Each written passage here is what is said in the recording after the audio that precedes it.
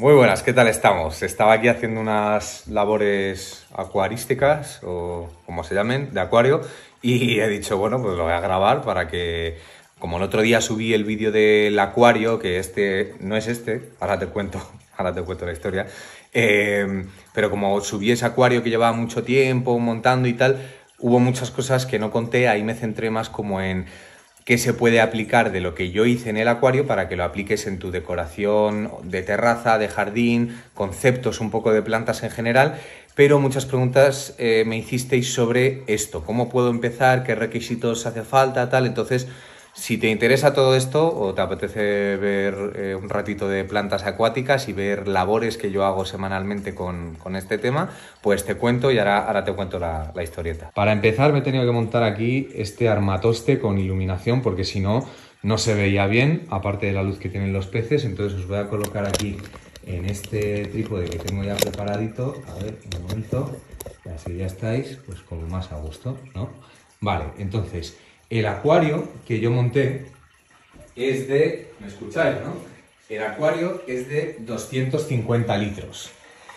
Y ahí, cuando lo monté, alguien de las personas que me seguís, alguien dijo, oye, me parece que tienes mucho pez para la cantidad de, de litros que hay, porque si no lo sabéis, se debe poner, o sea, imagínate que tú en tu cuarto duermen siete personas, pues, pues no es lo suyo, ¿no? O sea, hay que vivir a gusto.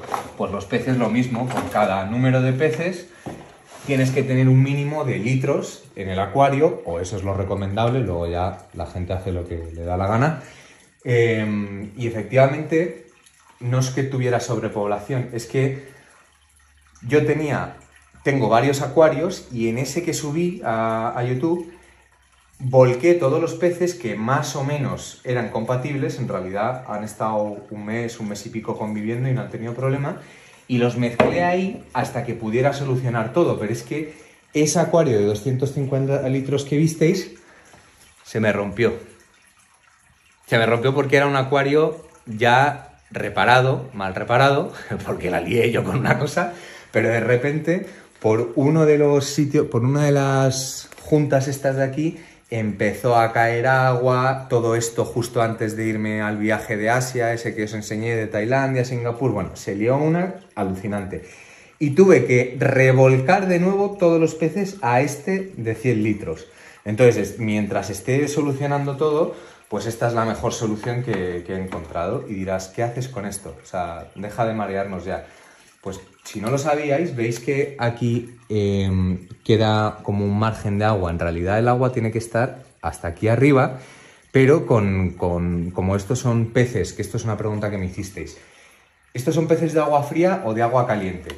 Todos los peces de acuario em, son de agua caliente, porque vienen de zonas tropicales o subtropicales, de, de América, de Asia, y entonces hay algunos que, igual que las las plantas, el sustrato de las plantas tiene un pH, sabéis que las hortensias se dan bien en sustrato ácido y hay otras que se dan bien mejor en sustrato neutral. Pues el pH del agua influye mucho para saber qué tipo de peces puedes tener. Entonces, aquí hay varios que no están en su situación perfecta, pero están aguantando bien. Entonces ya te acabo de desvelar varias cosas que tienes que tener bien hechas, que es la cantidad de litros por peces que tienes, Luego, que sean compatibles y sobre todo, si te quieres iniciar en este mundo, que sepas que es un mundo de estudio, ¿eh? O sea, esto no es me compro una plantita, la tengo en la terraza y a ver qué tal se da. No, no. O sea, si quieres que esto se te dé bien, tienes que estudiar un poquito, estudiar, te digo, en, vídeos de YouTube, ¿eh? que es como yo he aprendido,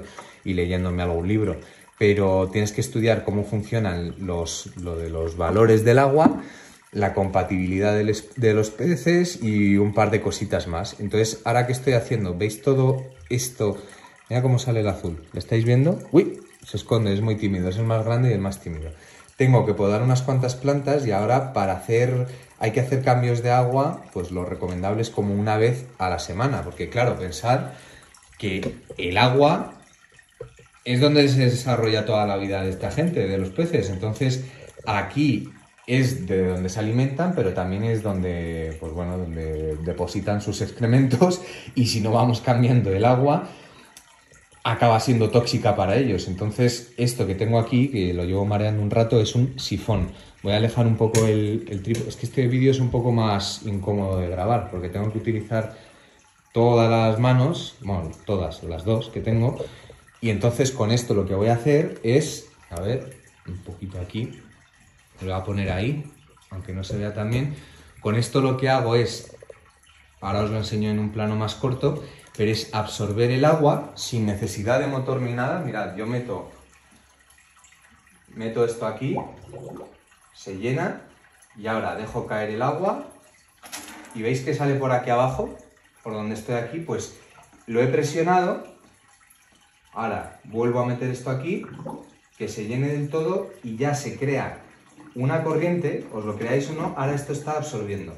No sé si lo veis ahí, que sube la tierrecilla ahora os, acerco más, pero esto de manera mecánica, yo, yo cuando lo conocí aluciné. Voy a ver cómo me las apaño para coger el móvil. O sea, estos son malabares. Vale, entonces de manera mecánica esto lo que hace es absorber el agua. Ahí. Y veis que voy absorbiendo las piedrecitas, entonces así limpio el fondo del, del acuario, todos los residuos que se van acumulando en el suelo y el agua sucia se va hasta, hasta el cubo, pero la tierra se queda. Ahora es que no lo estoy haciendo muy bien porque, como os digo, esto no es fácil, pero bueno, el caso es que esto se tiene que hacer una vez a la semana. Y así se va limpiando. Y habrá, hay gente que me dijo, qué desperdicio de agua, ¿no? No, yo todo el agua esta que, que saco la utilizo para regar las plantas de la terraza. Tal cual, porque además el agua es súper... Mira, se había colado un pez, no sé si lo habéis visto. Es la primera vez que se me cuela uno. Hay que tener cuidado porque no es que sean especialmente inteligentes. A ver, entonces yo todo el agua que me sobra aquí la utilizo y no sé si conocéis, eh, hay un concepto que es el de hidroponía, que es eh, utilizar un circuito cerrado de agua para que crezcan ciertos cultivos, pues también existe una cosa que se llama acuaponía, que es cultivar, es decir, cuidar al fin y al cabo peces, y ese sistema de, agua está conectado con plantas de exterior. Entonces, con el agua que sale de los peces, con el residuo que sale, vas alimentando. Ahora os lo pongo, es que me está costando mucho explicar todo y hacer esto a la vez, o sea. Pero el caso es que se crea un sistema cerrado en el que con el agua de los peces se van nutriendo las raíces de las plantas. Un momentito que voy a ajustar esto. Y como decía antes, cada pez necesita unos valores de agua y no solo influye el pH. Mirad, este es como mi kit de, acuario, que lo tengo bastante desordenado, pero cada cajita amarilla de estas mide una cosa, el KH, el pH, el GH. No voy a entrar a explicar eh, qué es cada cosa, pero bueno, hay que hacer mediciones cada X tiempo porque pueden ir variando los, los valores del agua y dirás, bueno, pues yo conozco a alguien que no se complica tanto la cabeza y simplemente tiene peces en el acuario y listo. Bueno, pues muy bien, pero así se acaban muriendo o acaban teniendo enfermedades y yo como dije, me gusta tenerlos lo más sanos posibles. Entonces, tienes que tener un buen valor de, agua en general. Tienes que tener peces que sean compatibles entre sí. Pues lo suyo, aunque se pueden mezclar de Asia y América, pero lo suyo es que sean los mismos de las mismas zonas. Luego tienes que tener, para mí es una obligación casi, plantas naturales. Las plantas naturales van eh, purificando el agua también, como expliqué, y aparte es que hacen, hacen mucho más bonito y mucho más... No sé, esta, esta, esta afición yo no la, no la contemplo si no es con, plantas naturales. Eh, luego la temperatura, como veis aquí tengo un termómetro, son peces de, de, aguas cálidas, entonces necesitan estar más o menos entre 25, 26, 27 grados, ya vamos a entrar ahí dependiendo de cada pez, pero de 25 seguro que no, tiene que bajar los, los peces de, agua cálida. Peces de agua fría, los que tengo yo en estanque, el estanque en maceta ese que os enseñé a construir.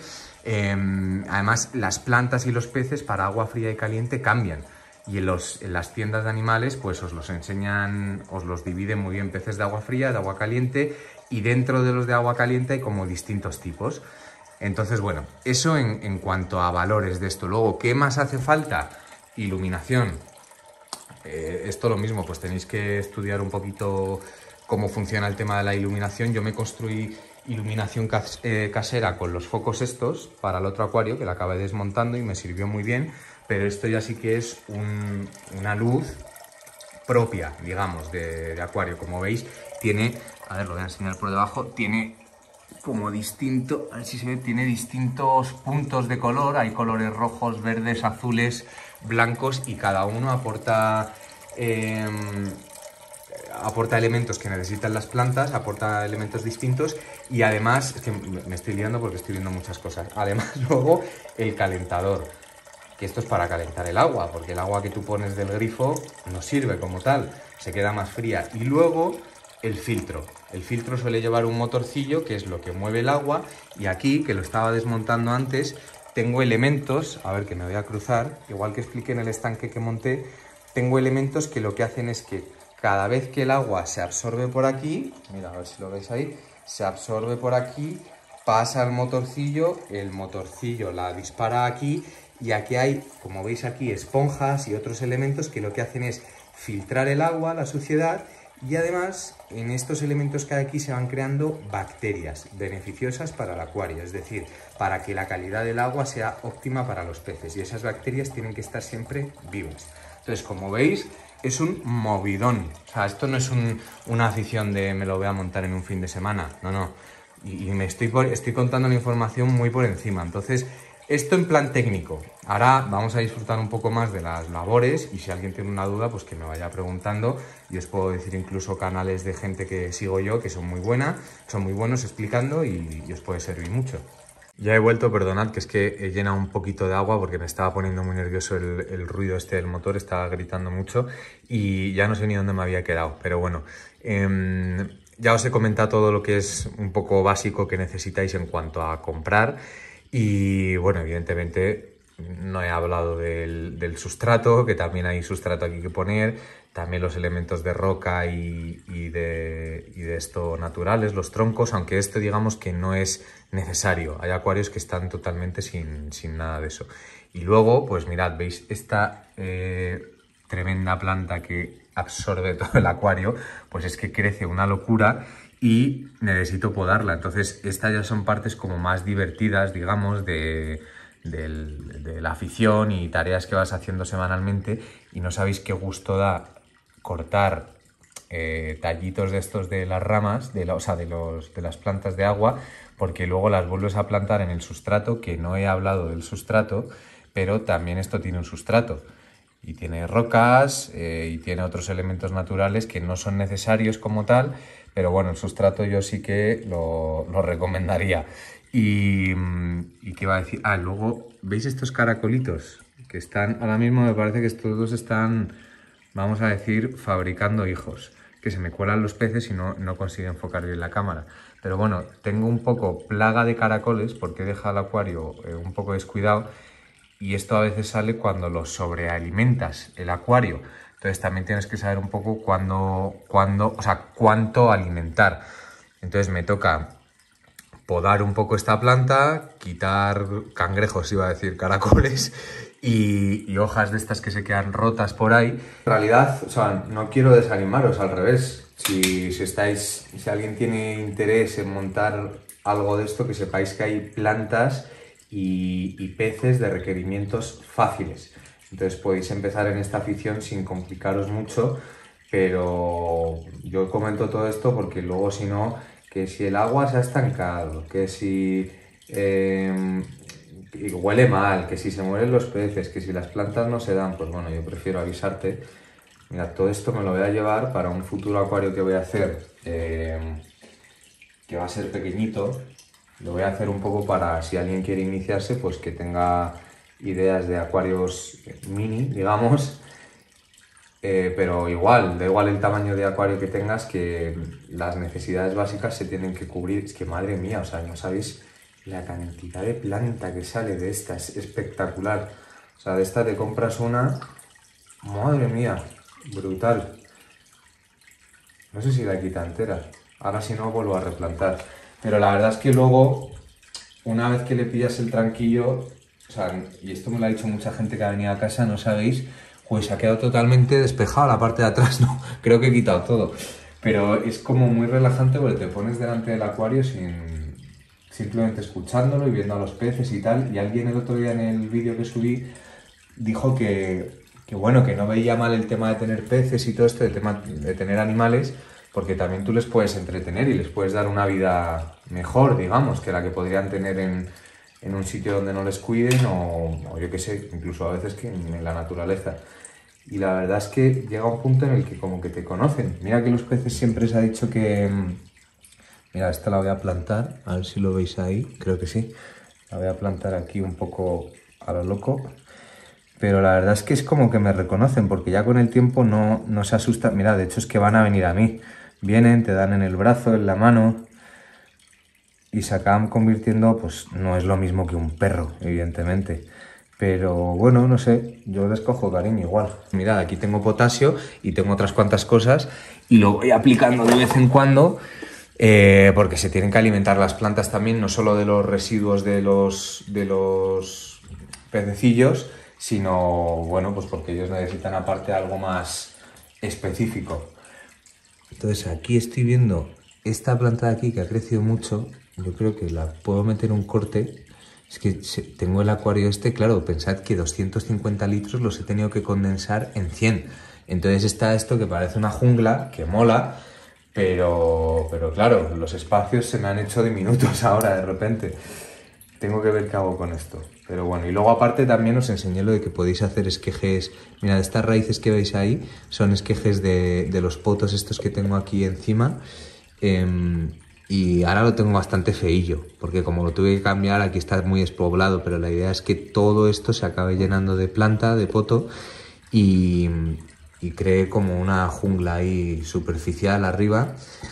Pero, pero eso, entonces se corta ya las plantas. Y luego algo que se suele buscar mucho es, eh, que a mí eso me encanta también, y es que los animales se acaben reproduciendo y acabes viendo pequeñas crías eh, y acabas teniendo, mira estos colorines ahí, como, como, van todo el rato, y acabas teniendo crías que son mola un montón, pero que sepáis que hay peces en las tiendas donde cuando los venden, eh, veréis alguna sección que se llaman vivíparos. Todos esos peces son los que más fácilmente vas a poder reproducir en tu acuario porque hay otros como estos que alguna vez han hecho puestas de huevos que se ven aquí pa, pa, pa, pa, en el cristal como muchos huevos pegados, pero o no acaban sobreviviendo porque hay distintas especies y se los comen entre ellos, o los caracoles hacen de las suyas y bueno, pues acaban, acaban devorándoselos. Entonces hay un pez muy fácil que os lo enseñé en los en los acuarios estos que hacían callejeros en Tailandia, que son los guppies. Los guppies esos se reproducen, quieras o no, y se te llena el acuario de peces, pero se te llena demasiado, o sea, incluso. Pero bueno, que sepáis que hay peces muy fáciles de, que se reproduzcan, digamos, y está bien mezclar, por si alguna vez lo montáis, ¿ves este de aquí? A ver, lo voy a meter zoom. Eso es una coridora. Entonces se les suele mal llamar limpiadores de fondos, el rojo este no, el de atrás, que este está chupando cámara. Entonces las coridoras lo que hacen es comer comida del, que va cayendo al suelo. Entonces, mira, ¿ves cómo estaba indagando ahí, cómo estaba metiendo el, hocico, como quien dice? Pues esas en parte limpian el fondo, pero lo que hacen es comer, eh, pues eso, la comida que, sobra, el resto que cae y la van, la van buscando, la van oliendo ahí todo el día y los otros sí que tienen una alimentación de esta que es que les acaba de alimentar justo, pero de echas polvitos y empiezan a, comer.